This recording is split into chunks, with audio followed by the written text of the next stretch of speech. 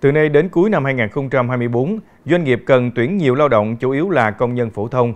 Tổng cục Thống kê cho biết, nhu cầu tuyển dụng lao động đang tăng nhanh do doanh nghiệp đẩy mạnh sản xuất kinh doanh, kéo theo thu nhập bình quân của người lao động thường cao hơn quý trước, đặc biệt trong dịp Tết Nguyên đán.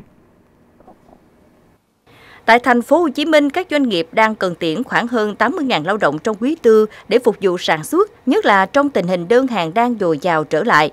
Nhu cầu tuyển dụng tăng cao, đặc biệt ở các ngành công nghiệp, công nghệ dịch vụ, hành chính và bất động sản. Doanh nghiệp ưu tiên tuyển dụng lao động có trình độ chuyên môn cao trong lĩnh vực công nghệ, thông tin, kế toán, kiểm toán, marketing. Hiện trung bình mỗi tuần, doanh nghiệp trên địa bàn Đồng Nai cần tuyển khoảng 2.300 lao động, trong đó chỉ có gần 100 lao động trình độ đại học cao đẳng trung cấp, còn lại là lao động phổ thông. Ngành nghề tuyển dụng rất đa dạng như công nghiệp chế biến, chế tạo, sản xuất, dệt may, giày da, thiết bị công nghiệp, các sản phẩm từ gỗ.